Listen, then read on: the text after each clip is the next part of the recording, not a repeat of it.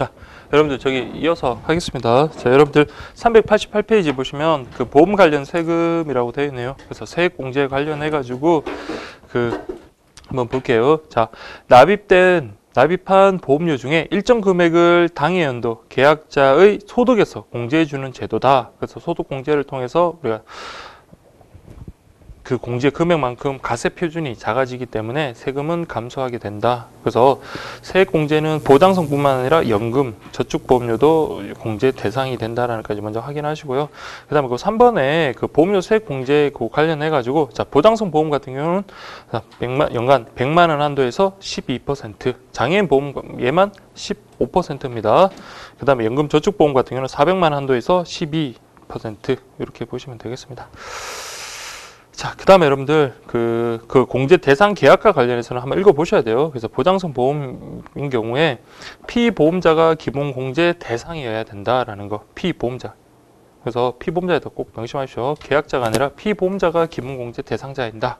다음에 근로소득자가 실제로 납입하는 보험이고 만기 환급액이 납입한 보험료를 초과하지 않는 보험. 이게 바로 보장성 보험이잖아요. 그렇죠? 이게 초과해버리면 이건 저축성 보험이 되는 거예요. 그래서 만기 환급 금액이 내가 낸 돈보다 더 많지 않는 보험, 즉 보장성 보험이 된다. 이런 말이고요.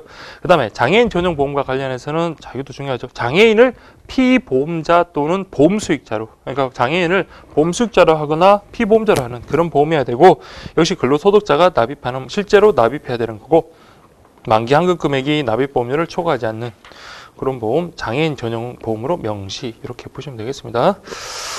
자, 그 다음에 여러분 389페이지 한번 가보겠습니다. 저 보장성 보험과 관련되는 세액 공제 해가지고 그냥 저기 아까 우리 앞에 그 총괄 그 세액 공제 총괄에서 나왔던 내용들 다시 확인하는 차원이거든요. 그래서 100만 원 한도에서 12% 그래서 계약자는 근로자 본인이거나 소득 없는 가족이다. 요 꼭 좀 체크를 하시고 피보험자는 기본 공제 대상자여야 한다라는 거. 자, 이게 중요합니다.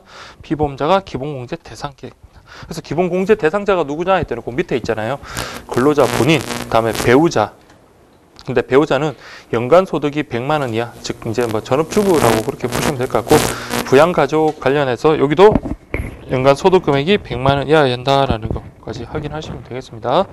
그래서 공제 금액 한도 뭐 12% 이렇게 확인하시고요. 그다음에 장애인 전용 보험 세액 공제 요거는 또 기출됐던 거죠. 그래서 장애인 전용 보험에 가입하여 근로 소득 정산 시 자, 100만 원 한도 이때는 12%가 아니라 15%고요. 그다음에 계약자는 근로자 본인, 소득이 없는 가족, 그다음에 피보험자 또는 수익자가 누가 장애인이 돼야 됩니다. 장애인. 자, 그 다음에 기타 요구과 관련해서 기출됐던 게 동일한 계약건으로 보장성 보험 소득 공제, 장애인 전용 보험 소득 공제, 중복은 안 된다라는 거 확인하시고요. 그 다음에 2번 보시면 어, 그 납입 영수증에 장애인 전용 보장성 보험이라고 이렇게 표시되어야 한다라는 것까지 확인하시면 되겠습니다. 그 다음에 저축성 보험 차익가세라고 되어 있는데 자 여러분들 요거는 이제 좀 여러분들 암기하시기가 조금 힘드시긴 한데 그래도 뭐 한번 확인하셔야 돼요. 그래서 보시면 1번 보세요. 2013년 2월 15일 이후에 2월 15일 이후의 계약의 경우 다음의 요건이 충족되면 이자 소득에 대해서 비과세를 하겠다라고 되어 있네요. 그래서 1번 보세요. 보험료 합계액이 2억 원 이하인 보험 계약으로서 만기일 또는 중도일 해지, 중도 해지일까지의 기간이 10년 이상, 즉 장기 보험인 경우, 그 다음에 금액이 2억 원 이하라는 거 그렇게 좀 보시면 되겠습니다. 단 만기일 또는 중도 해지일까지의 기간은 10년 이상이지만 10년이 경과하기 전에 납입한 보험료를 확정 기간 동안 연금의 형태로 분할을 지급받는 경우는 자, 과세가 되겠다. 그냥 요거는 한번 그냥 읽어보십시오. 읽어보시고 이해를 하시면 되고 나중에 이제 문제 통해서 확인하십시오. 그리고 자 우리 이 저축성 보험과 관련해서 보시면 자 1번이 일반적인 경우예요. 근데 1번이 일반적인 경우인데 저 1번에 보시면 월 적립식 저축성 보험과 종신형 연금 보험 같은 경우는 제외라고 했네요. 그 제외라는 말은 뭐냐면 얘들을 갖다가 비과세 해주지 않겠다라는 게 아니라 요건이 다르다는 거예요. 그래서 390페이지 2번 보시면 다음의 요건을 모두입니다. 모두 충족하는 월 적립식 저축성 보험이네요. 그래서 이것도 만기일 또는 중도 해지일까지 기간이 10년 이상. 요거는 같네요. 근데 아까 위에는 2억 원 이하라는 그런 요건이 여기는 빠지고 보험료 납입 기간이 5년 이상이 되어야 되고 그다음에 보험료는 균등 매번 균등해야 되고 기본 보험료의 어떤 선납 미리 내는 그 기간이 6개월 이내에 된다라는 것까지 그렇게 확인하십시오. 자 이렇게 보시고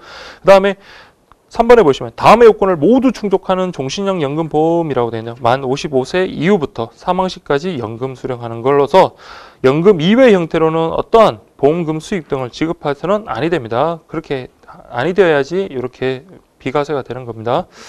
그 다음에 뭐 사망, 사망 시 계약이나 연금 재원은 모두 소멸하고 소멸하고 계약자와 피보험자 및 수익자가 동일한 계약으로서 최초 연금 지급 개시 이후에 중도 해지는 불가능한 그런 요건을 충족시킬 때만 비과세 된다. 지금 여기 안 나와닿을 거예요. 그래서 이 파트가 제일 좀 난해한 파트긴 한데 그냥 일단 그냥 있는 그대로 한번 여러분 읽어보십시오. 그래서 제가 말씀드린 것처럼 구분을 한다. 그러니까 디테일한 건 안 외우더라도 자 저축성 보험 같은 경우도 우리가 차익과 관련되는 그 이자 있잖아요. 이자와 관련해는 거기에 대해서 과세를 하는 게 원칙이지만 이런 특별한 요건이 충족된다면 그 이자에 대해서는 뭘 하지 않겠다. 과세하지 않겠다. 비과세하겠다. 이렇게 된 거예요. 그래서 그 일반 일반적인 그 일반론에 보면 어떻겠습니까? 2억 원 이하고 10년 이상 이렇게 된 거는 과세하지 않겠다는 거예요. 근데 월 적립식 그 저축성 보험은 이 일반적인 요건하고는 다르게 그 5, 2억 원 이하라는 그런 요건은 빠진 거 그거 좀 여러분들 확인하시면 되고 그다음에 종신형 연금 보험 같은 경우도 어 좀 다르니까 그 개념 자체가 좀 다르니까 여기서도 요건 자체가 좀 다릅니다. 네, 그렇게 구분하시면 되겠습니다. 그다음에 여러분 391페이지 보시면은 그 뭐 주요 내용에서 보험 차익, 보험 차익이라는 거 말고도 우리가 낸 보험료를 빼야 되겠죠. 그래서 만기 보험금에서 보험료를 뺀 거, 그게 바로 여러분들 보험 차익인데 보험 차익 가, 자체에다가 우리가 뭡니까? 세금을 바로 원천 징수해 버리죠. 그래서 이자 소득과 관련해서 일반 세율 15.4% 해가지고 여러분들 그 15.4%는 이자 소득세 14, 그 다음에 주민세 1.4 이렇게 되고, 그 다음에 우대 세율 같은 경우는 9.5인데 이건 이자 소득세가 9고 농어촌 특별세가 여러분들 0.5% 이것만 구분하시면 됩니다.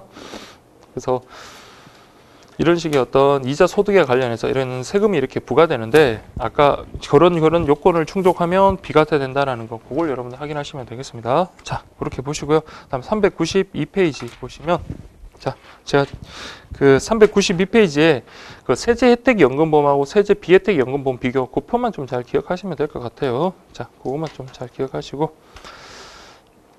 자 세제 혜택 연금보험 같은 경우는 세액 공제를 해줍니다. 그 세제 혜택이니까 그래서 세액 공제 자 400만 원에서 12% 내지 15% 한도다 이렇게 좀 기억을 할게요. 자 그렇게 좀 보시고 반면에 자 세액 공제를 해주는 대신에 뭐 연금 수령할 때 뭐는 한다? 세금은 적용합니다. 그래서 원천 징수 한다라는 거 꼭 좀 기억하시고 반면에 세제 비혜택 연금보험 같은 경우는 세액 공제를 안 해주는 대신에 나중에 우리 연금 수령 시 그렇죠. 세금은 없다라는 거. 그렇게만 구분하시면 돼요. 자, 그렇게 하시고 그 다음에 뭐 392페이지 그 디테일한 내용은 나중에 다시 한번 보겠습니다. 393페이지에 이제 개인연금과 연금저축 요거 비교하는 거는 좀 기억하시라 그랬죠. 한번 기출 됐던 거니까 한번 기억하시고 그다음에 연금보험 과세제도 종합도 우리 그 앞에 거랑 같이 해서 볼게요. 지금 봐도 여러분들 어차피 이거는 디- 너무 디테일한 거라서 암기도 안 될 거고 그렇게 구분하시면 되겠습니다. 자, 그 다음에 여러분들 그 396페이지 보시면 생명보험 용어 해설이 있거든요. 요거는 어려운 거 없으니까 그냥 그 여러분들이 좀 확인하시면 될 것 같아요. 이게 중복되는 게 대부분이라 했습니다. 중복되는 게 대부분이니까 그 역선택 정도만 여러분들 저기 기출됐던 거 한번 식으로 해가지고 확인하시면 될 것 같고 네, 나머지는 제가 수업 시간에 좀 강조 드렸던 거 정도만 좀 체크를 하시면 될 것 같습니다. 자, 이제 바로 마지막인 그 405페이지에 그 인보험편, 보험계약법으로 바로 들어갈게요. 자, 보험 계약. 자, 보험 계약이라는 것은 자, 당사자 보세요. 어, 보험 계약이란 당사자 일방이 약정한 보험료를 납부하고 상대방이 재산 또는 생명이나 신체의 불확정한 사고가 생길 경우에 일정한 보험금의 기타의 급여를 지급할 의무를 부담하는 계약을 말한다라고 그렇게 되는 그 일반적인 내용입니다. 그래서 상법 638조에 뭐라고 되어 있습니까? 기타의 급여를 지급할 것을 뭐함으로써 약정함으로써 효력이 생긴다. 즉 계약이 어떻게 해요? 당사자가 약속하면 의사의 합치가 되면 계약은 성립한다. 그래서 보험 계약은 무슨 계약이다?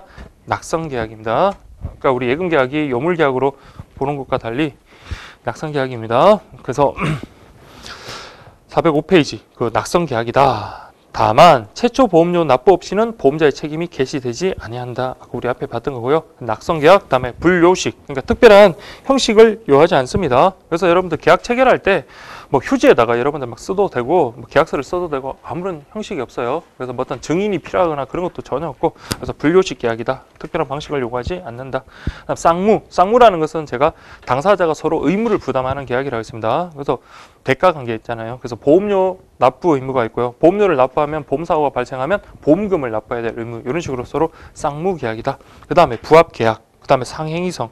요거는 우리 앞에서 봤던 예금 계약과 같은 거죠. 그래서 부합 계약이고 상행위성. 그 다음에 반면에 요거는 사행 계약성이다라는 거. 그래서 이건 불확실한 어떤 사고로 인하여 어떤 보험금 지급이 되기 때문에 사행 계약성. 그래서 최대한 이게 이제 보험금이라는 게 제가 냈던 보험료만으로 우리한테 지급하는 게 아니기 때문에 최대한의 어떤 선의 윤리성을 요구합니다. 최대한의 선의 윤리성을 요구합니다. 다른 제3자의 어떤 선의의 어떤 피해를 주지 않기 위해서 그렇고요. 이것도 역시 계속 계약성. 우리 앞에서 보험 그 예금 계약도 뭐 특별한 말은 없었지만 계속 계약이죠. 예금 계약 우리 통장 개설하고 계속 계약하는 계속 거래하는 거잖아요. 그래서 이것도 계속 계약적인 성질이 있다라는 정도 확인하시면 되겠습니다. 자, 여기는 어렵지 않잖아요. 그래서 407페이지 보세요. 보험 계약의 특성이라고 되어 있네요. 뭐 영리성 그렇죠. 보험계약, 보험회사 같은 경우는 뭡니까? 영리 주관의 집단이에요. 그래서 최대한 보험료는 높게 받으려고 그럴 거고, 보험금은 최대한 지불 안 하려고 그렇게 할 겁니다. 그래서 사회보험과는 그 성격이 다르다. 사회보험이라는 건 여러분 대표적인 게 의료보험, 옛날 말 같으면 의료보험 같은 게 대표적인 사회보험이죠. 의료보험, 뭐 연금, 뭐 이런 것들.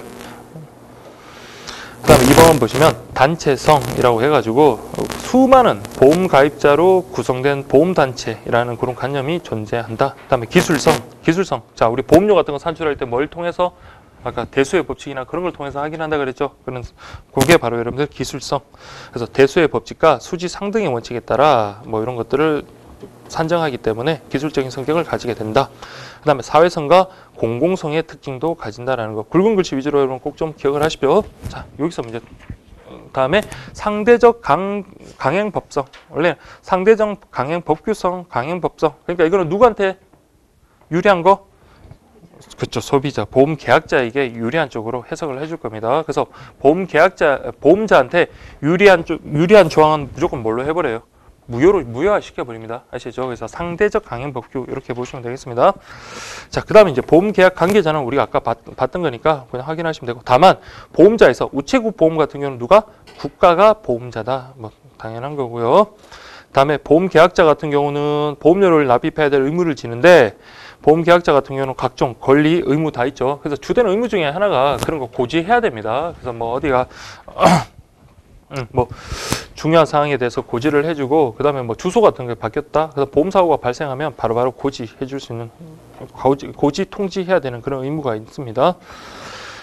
그다음에 음, 피보험자 관련해 가지고는 자 음, 피보험자는 여러분들 보험 계약자가 피보험자가 될 수도 있고 아닌 제3자를 보험 계약자로 할 수 있겠죠. 그러면은 보험 계약자하고 보험 계약자와 피보험자가 같다. 그런 생명 보험 계약을 무슨 생명? 자기 생명 보험이라고 하고요. 다음에 제3자를 갖다가 피보험자로 둔 경우를 우리가 타인 생명, 타인 생명 보험이다. 그렇게 말을 합니다. 다만 타인 생명 보험 같은 경우는 자, 요 중요하죠. 그래서 사망을 이런 제한이 있습니다. 사망을 보험금 지급 사유로 보는 생명 보험 계약에서 만 15세 미만, 그다음에 심신 상실자, 심신 박약자를 보험 대상자로 하는 보험 계약은 무효가 된다. 이게 예전에 기출이 그렇게 됐죠. 만 15세 미만, 심신 상실, 심신 박약, 몸이 건강하지 않은 자 이런 식으로 나온다. 몸이 건강하지 않은 자 그건 아니에요. 자 이런 사람들은 무효입니다. 무효. 무효가 되고 타인의 사망을 보험 사고 어, 보험 사고라는 보험 계약 같은 경우는 반드시 그 사람의 서면에 의한 동의를 받도록 요구를 하고 있습니다. 자, 그렇게 보시면 되겠습니다. 그 다음에 보험 수익자. 여기도 마찬가지네요. 여러분, 이거 나중에 자기 생명의 보험, 자기를 위한 보험, 이런 거 개념만 안 헷갈리면 돼요. 그래서 보험 수익자고 보험 계약자가 일치한다. 그럼 뭡니까? 자기를 위한 계약이고, 제3자의 보험 수익자가 제3자다. 그러면 타인을 위한 계약, 타인을 위한 보험이다. 그렇게 보시면 되겠습니다. 그 다음에 보험 수익자의 지정권, 그 다음에 변경권은 누구한테 있다? 이게 중요하죠. 보험 계약자 있습니다. 보험 수익자 자신이 있는 게 아니에요. 어, 내가 만약에 어떤 그 친구가 나를 보험 수익자로 해서 고마운데 내가 나 말고 나의 아들을 갖다가 보험 수익자로 하기 위해서 보험 수익자가 그걸 갖다가 변경하는 거 안 됩니다. 그러니까 보험 수익자에게 지정 변경권은 누구한테 있다? 보험 계약자에게 있다는 거 꼭 좀 기억을 하시고요. 그 다음에 이제 마지막에 보시면 타인의 생명 보험 같은 경우 자 보험 수익자가 바뀌면 여러분들 보험 수익자가 누구냐에 따라서 피보험자가 위험도가 달라지죠. 그렇죠? 그렇기 때문에 보험 수익자가 바뀌었다면 반드시 누구의 동의를 얻도록 해라? 피보험자의 그쵸 어, 동의가 필요하다는 거 꼭 좀 기억을 하십시오. 되게 중요합니다. 그 다음에 410페이지 보시면 그 보험금 받는 자를 지정하지 않았다. 즉 보험 수익자를 지정하지 않은 경우라고 되어 있네요. 그래서 사망 보험금 같은 경우는 자 보험 수익자가 없다. 그러면 이때는 피보험자의 상속인. 그러니까 이거는 다 죽는 거잖아요. 피보험자도 없고 보험 수익자도 없게 되는 경우잖아요. 그렇죠? 이때는 누구에게 보험금을 준다? 피보험자의 상속인 이렇게 기억을 하시고 생존보험 같은 경우는 자 이때는 보험 계약자 그러니까 두 개를 구분하시면 돼요. 그 다음에 뭐 다치거나 그러면 당연히 다친 사람한테 줘야 되겠죠. 그래서 피보험자 그렇게 해가지고 이것도 이제 한번 출제될 때가 됐습니다. 꼭 기억을 하십시오. 자 그렇게 보시고 음. 저기 411페이지 볼게요. 411페이지 그 보험 계약의 요소에서 보험 대상자, 보험 목적물, 보험 사고 자 이런 것들 우리가 다 봤던 내용이니까 그냥 넘어가겠습니다. 그 다음에 보험 아 저기 상법 644조에 보시면 보험 계약 당시에 보험 사고가 이미 발생. 그러니까 이미 피보험자가 돌아가신 분을 피보험자로 했다. 그럼 뭡니까? 이거는 보험 사고 절대로 발생할 수는 없는 거죠, 이제는. 그러니까 이거는 뭐가 된다? 그 보험 계약은 무효가 되는 거예요. 그래서 취소가 아니라 무효가 된다는 거꼭 기억하시고 다만 당사자 쌍방이 그걸 알지 못했다면 무효가 되는 건 아닙니다. 그래서 그 단서까지 여러분들 확인하시고요. 그 다음에 보험료, 보험금 그것과 관련해서 뭐 앞에서 봤던 내용이고요. 근데 상법 658조 요 조문은 나름 또 의미가 있습니다. 그래서 굵은 글씨 위주로 꼭 좀 기억을 하십시오. 자, 우리 보험사고가 발생했어요. 그러면은 통지를 받았겠죠. 자, 어떤 어떤 막 피보험자가 돌아가셨다면 피보험자가 이번에 뭐 언제 어떤 어떤 일로 돌아가셨습니다. 이렇게 하면은 보험회사에서는 뭡니까? 일단 조사는 하겠죠. 그러니까 이게 혹시 면책 사유가 있는지 아니면 실제 보험 사고가 진정한 보험 사고가 맞는지 아니면 혹시 사기 보험은 아닌지 이런 것들까지 조사를 할 겁니다. 한 다음에 이제 그 다음에 보험 금액을 딱 정하겠죠. 그리고 난 다음에 이제 그 보험 수익자에게 지불할 겁니다. 그래서 보시면 지체 없이 보험 금액을 정하고라는 그 표현이 되게 중요하죠. 그러니까 이거 기한을 정해버리면 이 기한에 쫓겨가서 제대로 된 조사를 할 수가 없다는 거예요. 그리고 보험금을 제대로 정하기가 어렵기 때문에 지체 없이 그냥 가능한 한 너네들이 할 수 있는 한 좀 빨리 서둘러서 해라. 보험 금액 정해라. 그럼 보험 금액을 정하면 뭡니까? 보험금 지급하는 거는 여러분들 뭐 언제든지 줄 수 있잖아요. 그때는 며칠? 10일 안에 지급해라. 이런 식으로 우리 상법에서 이렇게 규정하고 있습니다. 그 다음에 보험 기간, 보험료 납입 기간, 그 차이 아시죠? 보험 기간에는 보험자가 책임지는 기간, 보험료 납입 기간은 말 그대로 보험 계약자가 보험료를 납입하는 기간. 요게 전보험액에서 일치하면 요걸 무슨 납? 전기납. 그렇죠. 이렇게 주고 들면 단기납 이렇게 하면 되겠습니다. 그 다음에 이제 제가 이제 또 찍는 것 중에 하나가 요거라 그랬죠. 보험계약의 성립하고 거절이라고 되네요. 자, 보세요. 보험계약은 보험계약자의 청약과 보험자의 승낙으로. 자, 보세요. 보험계약자가 청약하고 보험자가 승낙합니다. 제가 그랬죠.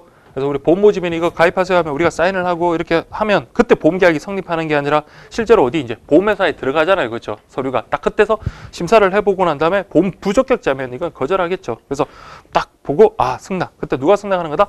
보험자. 보험회사에서 거예요. 그래서 여러분들 나중에 보험 증서 있잖아요. 그 딱 보면 만약에 뭐 S생명 주식회사면 S생명 주식회사 뭐 대표이사 누구 누구 이런 식으로 되어 있을 거예요. 그게 이제 소위 말하는 승낙입니다. 보험계약자의 청약과 보험자의 승낙으로 성립한다. 낙성계약이고요. 다만 자 여기 보세요. 계약자의 청약에 대해서 피보험자가 계약에 적합하지 않을 때는 계약을 거절할 수 있다. 이건 당연한 건데 보험자가 계약을 자유 체크하라 그랬죠. 거절할 때는 보험료를 만약에 받았다면 받은 보험료만 돌려주는 게 아니라 이제 주기로 했던 예정 이율에다가 플러스 1%를 가산한 그 금액을 보험료에 더해서 돌려준다 이렇게 돼 있죠. 근데 그 밑에 있는 철회는 뭡니까? 보험계약자 스스로 뭡니까? 보험료를 납입하고 난 다음에 나중에 뭡니까? 스스로 아 미안한데 내가 다른 때 사정이 생겨가지고 보험계약을 취소 철회하겠습니다 라고 할 때는 그때입니다. 받은 보험료만을 돌려줍니다. 받은 보험료만을 그래서 그것만 그렇게 구분하시면 된다. 그래서 자, 1번 다시 보면 거절할 때 만약에 30일 이상 성낙 또는 거절을 통지를 하지 않으면 그러니까 보험회사에서 심사를 한다고 딱 그랬는데 뭐 두 달이 지나도록 대답을 안 해주는. 그럼 뭐 보험계약의 통과됐는지 통과되지 않았는지 거절됐는지 대답을 안 해주면 이걸 뭘로 보겠다? 승낙한 것으로 본다. 이렇게 보시면 되고요. 그다음에 보험계약의 철회와 관련해서는 이거는 누가 철회하는 겁니까? 보험계약자가 철회하는 거죠. 그렇죠? 거절은 보험사가 거절하는 거고 철회는 보험계약자가 철회하는 겁니다. 그래서 보험 가입 증서, 즉 보험 증권을 받은 날로부터 15일 이내 청약을 철회할 수 있다라는 거 15일 꼭 좀 기억하시고 이제 보험 가입 증서 말고 그냥 청약을 한 날로부터는 30일. 그래서 15일, 30일 그렇게 기억하시고 이때는 처- 거절 아니 철회를 해 버리면 보험자는 받은 보험료만을 돌려준다. 그렇게 보시면 되겠습니다. 예. 그렇게 보시고 그 다음에 413페이지 보험증권이라고 되는데 보험증권은 이건 뭡니까? 효력하고는 아무런 관련 없다 했습니다. 그래서 보험증권 뭐 배달 차고 이런 걸로 배달 사고로 인해서 도달하지 않더라도 보험계약 성립하고는 아무런 관계가 없다. 즉 유효하게 성립한다라는 거 그렇게 보시면 되겠고요. 그 다음에 그 밑에 조문에 보시면 640조 2항 보시면 기존의 보험계약을 연장하거나 변경하면 새로 발급 뭐 해줘도 되겠지만 기존에 있던 보험증권의 그 사실을 기재함으로써 새롭게 교부하는 것에 가름 대신할 수 있다라는 그 말이고요. 그다음에 보험 계약의 체결 아까 봤지만 불요식 아, 불요식 낙성 계약이다라는 거 그렇게 보시면 되겠습니다. 불요식 낙성 계약. 그래서 실제는 뭐 승낙합니다, 가입되었습니다 이런 말보다도 보험 증서를 갖다가 딱 보내줌으로써 승낙에 가름하고 있다 이렇게 보시고요. 그다음에 보험자가 승낙할 경우 보험자의 책임은 최초 보험료가 지급된데 소급하여 개시된다. 그래서 승낙 시가 아니라 늘 뭡니까? 만약에 먼저 보험료를 갖다가 여러분들 계약서 우리 청약할 때 보험료까지 같이 줬다. 그러면은 언제 책임 기간은 보험료를 납입한 때, 그러니까 우리 청약할 때 그때로 소급 소급이랑 앞으로 돌아가는 거잖아요. 그때부터 개시돼서 시작한다라는 거지. 그렇게 보시고요. 그다음에 승낙 의제 아까처럼 30일 동안 아무런 대꾸를 안 해줬다. 그럼 승낙한 걸로 의제한다. 그렇게 보시면 되고요. 그다음에 성, 승낙 전 사고 담보라고 되는데, 자 보험자가 청약을 승낙하기 전에 보험 사고가 생겨버렸어요. 근데 당연히 이때 전제는 뭡니까? 보험료를 납부했겠죠. 보험료를 같이 주면서 첫 번째 보험료를 같이 주면서 청약을 했는데 막 심사하고 있는데 갑자기 그때 보험 사고가 발생했으면 자이 보험자 보험 계약을 거절해야 되는 특별한 사유가 없는 한 뭐다 보험기자는 책임을 집니다. 보험 계약상의 책임을 진다. 이렇게 보시고요. 그 다음에 보험 계약의 무효. 자 무효는 아까 봤지만 무효라는 것은 처음부터 효과가 발생하지 않는 것, 효력이 발생하지 않는 것. 취소라는 것은 일단 유효하게 성립했지만 소급해서 무효가 되는 것. 결국은 근데 효과는 똑같아요. 무효가 된다는 건 똑같은데 처음부터 무효냐 아니면 소급해서 무효냐 그 차이고요. 그다음 고지 의무. 자 이때는 중요한 사항을 갖다가 보험 계약자는 보험자에게 알려줘야 되겠죠. 그래서 보험 부적격자 이런 것들을 속이면 안 됩니다. 그래서 이때 고지 의무라는 것은 계약의 청약 시뿐만 아니라 부활 시에도 뒤쪽에 나오는 부활 시에도 이행되어야 한다라는 것까지 그렇게 보시면 되고 그래서 고지 의무를 제대로 이행하지 않았을 때는 보험자는 즉시 계약을 해제할 수 있다라는 거 계약을 해제할 수 있다. 네, 그렇게 보시면 되겠습니다. 근데 고지 의무 위반에 대해서 해제할 수 없는 경우가 있다고 돼 있네요. 자, 첫 번째가 알았던 경우. 아, 이 사람이 어, 위험한 스- 위험한 직업을 가져서 우리 요, 이 보험 상품이 적합하지 않으면 알면서도 막 뭡니까 할당을 갖다 채우기 위해서 아니면 뭐 수익을 갖다가 좀 더 높이기 위해서 그렇게 했다면 나중에 그 고지 의무 위반의 효과로서 계약을 해지할 수는 없습니다. 그다음에 가실은 가실이지만 중가실 그러니까 고의 또는 중가실. 그다음에 두 번째가 안날로부터 1개월 이상 지났거나 그러니까 그 고지 의무 위반 사실 안날로부터 1개월 이상 지났다거나 그 다음에 봉근 지급 사유가 발생하지 않고 3년이 지난 경우라고 되어 있습니다. 그게 그렇고 그다음에 아래쪽에는 약관상인데 약관상에는 3년이 아니라 2년이라고 돼 있죠. 2년 정도 확인하셔야 됩니다. 그래서 상법 규정보다 강화된 강화되는 것은 뭐다? 계약자에게 더 두텁게 보호하는 그런 제도다. 이렇게 보시면 되겠습니다. 이해되시죠? 여러분 이런 거는 그냥 읽어보시면 쭉 이해가 될 겁니다. 자 그렇게 보시고 그 다음에 417페이지 보시면 보험 계약의 효과라고 되어 있네요. 그래서 보험자는 자 보험 증권을 교부하고 보험금을 지급해야 될 의무 당연한 거죠. 다음에 보험자는 보험료를 반환해야 될 의무가 있는데 보세요. 언제 반환해야 될까요? 보험 계약이 무효가 된 경우죠. 그렇죠? 보험계약이 무효가 됐다는 말은 더 이상 우리가 보험료를 가지고 있어야 할 정당한 권한이 없기 때문에 그렇습니다. 그래서 보험계약자와 피보험자가 선이며 중대한 가실이 없을 때, 자, 이걸 별표 칩시오. 보험계약자와, 즉, 보험계약자 측이 한 명이라도 여러분 악의가 있으면 안 돼요. 그러니까 나쁜, 그러니까 뭐 일부러 뭐 무효인 것을 알았거나 그런 식의 어떤 악의가 있으면 안 됩니다. 그래서 둘 다 보험 계약자 측이 모두 선의일 때 또는 모두 선의이면서 모두 중과실이 없을 때 이때 뭡니까? 보험자는 받은 보험료의 전부 또는 일부를 반환해야 된다라는 것이 그렇게 보시면 되겠습니다. 예, 그렇게 보시고요. 자, 418페이지 볼게요. 418페이지 보시면 보험자의 면책 사유라고 되어 있네요. 법정 면책 사유 중 자, 도덕적 위험이라고 되어 있네요. 그래서 아까 보세요. 음, 면책, 면책을 주장할 수 있는데 입증 책임은 역시 보험자에 있습니다. 우리 다 입증 책임은 우리 회사 측에 있다고 보시면 되고요. 보험 계약자나 피보험자 또는 보험 수익자 중에 어느 한 사람이나 고의 또는 중과실이 있으면 성립한다. 이게 중요해요. 모두가 아니에요. 그래서 아까 그랬잖아요. 이 보험 계약자 측은 세트로 움직이는 겁니다. 모두 이 사람들이 모두 선이거나 중과실이 없으면 뭡니까? 보험료를 반환받을 수 있고요. 그 다음에 보험 이 중에서 한 사람이라도 뭡니까? 이런 무효나 이런 데 책임이 있다. 그러면은 나중에 무효 무효의 책임이 아니라 보험료를 갖다가 우리 면책해야 될 어떤 사유와 관련해서 보험사 입장에서 주장하더라도 이 사람들 중에 한 사람이라도 악의가 있으면 뭡니까? 보험사는 면책을 주장할 수가 있는 겁니다. 그래서 그 또는이라는 말, 그 앞에는 뭐 이고라는 말 그런 말을 좀 명심 좀 조심하셔야 돼요.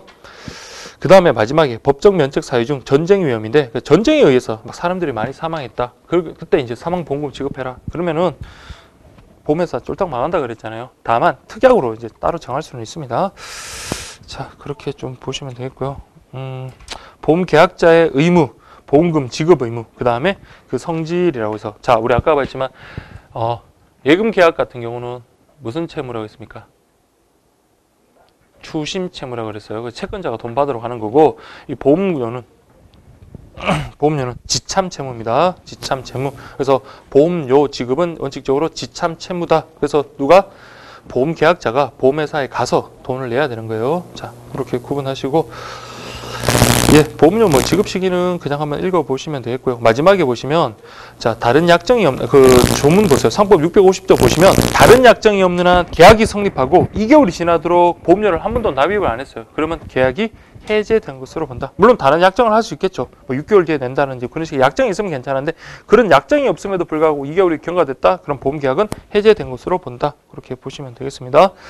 그 다음에 419페이지 보시면 그 마지막에 보시면 보험료 납입 지체의 효과라고 되어 있네요. 그래서 보험료 납입하면 납입이 지체됐다. 그러면 최고한다 그랬죠. 보험료 내세요. 그렇게 했는데 그러면 보험료 안 내면 뭡니까? 만약에 다시 안 내면 계약이 해지될 수 있습니다. 이렇게 최고를 하고 난 다음에 안 되면 별도의 해지 통보를 통해서 계약을 해지합니다. 자, 그 다음에 굵은 글씨 보시면 보험자의 위험 보장 개시 여부를 기준으로 최초 보험료와 계속 보험료의 구별이 이루어진다. 이 말은 무슨 말을 했어요? 만약에 이미 보험자가 책임을 개시하고 있단 말은 이미 뭡니까? 보험료를 한번 받았다는 거잖아요. 그렇죠? 그렇기 때문에 그거는 무슨 보험료다? 계속 보험료가 되는 거고 아직까지 보험자가 책임이 개시되지 않았으면 이제 받으면 뭡니까? 그때부터 뭐가 되는 겁니까? 보험자의 책임 기간이 개시되기 때문에 그걸 우리가 최초 보험료로 한다. 그 말입니다. 자, 이렇게 지금 여러분들이 좀 많이 힘드셔가지고 그런 것 같아 조금만 힘낼게요. 자, 그 다음 420페이지 보시면 위험 변경 증가 통지 의무. 그러니까 갑자기 뭐 직종이 바뀌었거나 뭐 그런 식의 어떤 위험 도가 증가했으면 그걸 통지해주고 그렇지 통지해주지 않아서 생긴 보험 사고에 대해서는 자 우리 원칙적으로 보험사에서는 책임지지 않습니다. 이때 위험 변경 증가의 원인은 객관적이어야 된다 그렇게 보시면 되겠습니다. 그래서 네, 그렇게 좀 보시고요. 음, 보험사고 발생이 됐다 그러면 이때도 지체 없이 알려줘야 됩니다. 보험사고 그러니까 지체 없이 안 하고 막 그, 어, 사고가 발생했는데도 한참 뒤에 알려줘가지고 그 손해가 더 커졌다면 그 커진 손해 증가분에 대해서는 보험사가 책임지지 않습니다. 됐죠? 예, 이제 정말 이제 마지막이네요. 보험계약의 부활이라고 됐네요. 자, 보험계약의 부활이라는 거는 자, 왜 인정되는지 아시겠죠? 그렇죠? 보험계약을 갖다가 해지하고 난 다음에 새롭게 보험계약을 체결하려면 그 사이에 우리는 어떻게 됩니까? 나이가 더 먹고 이러다 보니까 보험료가 많이 될 수밖에 없어요. 그래서 그동안에 우리가 보험료를 냈다가 그 보험료를 안 내 가지고 보험 계약이 해지된 경우 그때 다 중요한 거는 해지 환급금을 받지 않은 경우에 돼요. 해지 환급금을 받지 않은 경우라면 기존의 보험 계약과 동일한 내용의 계약을 다시 밀린 납입 보험료와 뭐 이자 같은 거 정도 내 가지고 살릴 수 있는 거. 그게 바로 여러분들 보험 계약의 부활이라라고 그렇게 말씀드렸습니다. 됐죠? 네, 그렇게 좀 보시면 되겠습니다. 그래서 421페이지에 부활의 요건 정도만 보세요. 그래서 여- 이때도 마찬가지 고지 의무 부담한다. 그래서 신규 보험계약 체결할 때뿐만 아니라 부활일 때도 고지 의무 부담한다.